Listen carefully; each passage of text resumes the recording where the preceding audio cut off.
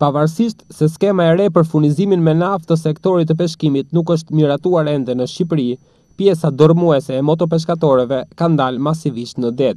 Kjo situatë i atribuohet uljes drastike të çmimit të naftës në bursën ndërkombëtare, duke i dhënë kështu frymëmarrje daljes në det për gjueti, të paktën për ato anije të cilat kanë kapacitete për të lundruar drejt Italisë, Greqisë apo Malit të Zi. Për fat të keq, ato mjete lundruese, të cilat nuk kanë kapacitete të tilla lundrimi për udhëtime më të gjata, qëndrojnë të lidhura në molo, me shpresën e hyrjes në fuqi të skemës së re për furnizimin me naftë të sektorit të peshkimit. Me uljen e çmimit të naftës në bursën ndërkombëtare është dhënë një frymëmarrje jashtëzakonisht e madhe sektorit peshkimit, ku të gjitha mjetet që kanë mundësi të furnizohen në vendet e rajonit, sidomos në Greqi, Itali dhe Mal të Zi, flitet për mjetet e mëdha, kanë mundësi furnizimi dhe çmimi i lirë i naftës i ka dhënë shumë, domethënë prioritet dhe të ardhurat që krijon sektori i peshkimit dhe peshkatarët, domethënë duke ndikuar në çështjen sociale dhe ekonomike të tyre. Sa kushton një litër naftë në Itali?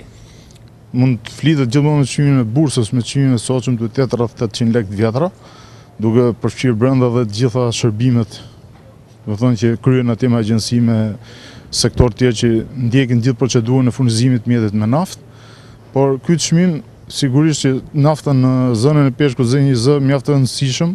Ky çmim është i pranueshëm dhe duke marrë peshkatarët, ekuipazhet e anijeve rrogat e tyre duke siguruar të mirat materiale për familjet e tyre, besoj që është në rrugën e duhur. Pra dy herë më lirë se sa në Shqipëri aktualisht. Ne nuk dimë se sa është në Shqipëri nafta se praktikisht nuk furnizohen asnjë nga anijet shqiptare nuk furnizohet në Shqipëri sepse akoma nuk është vënë në zbatim projekti i Ministrisë Bujqësisë për furnizimin e flotës peshkimit me naftë, po besoj që dita-ditës pritet të vihet në zbatim dhe ky projekt dhe siç funksionon në vendet e rajonit duhet të funksionojë dhe në Shqipëri. Megjithatë sa përqind e motopeshkatoreve kanë mundësi për të furnizuar në vendet e Mesdheut dhe sa përqind dënohen nga kapaciteti i tyre i vogël? Masa dërrmuese e anijeve furnizohen të gjitha në vendet e rajonit sepse kanë bërë dhe ndërhyrjet e duhura sigurisht duke ruajtur qëndrueshmërinë dhe lundrueshmërinë e mjeteve duke respektuar të gjitha normat e ndërhyrjes në mjet duke shtuar sigurisht depot e tyre për të përballuar furnizimin me naftë Dhe për të pasur sasinë e duhur të naftës që duhet për të kryer praktikën e gjuetisë në det. Kur mund të zgjidhet përfundimisht ngërçi i naftës në në Shqipëri? Një datë konkrete dhe fikse nuk kemi, por nga zërat që fliten, flitet shumë shpejt do vihet në praktikë skema e re furnizimit me naftë për flotën e peshkimit.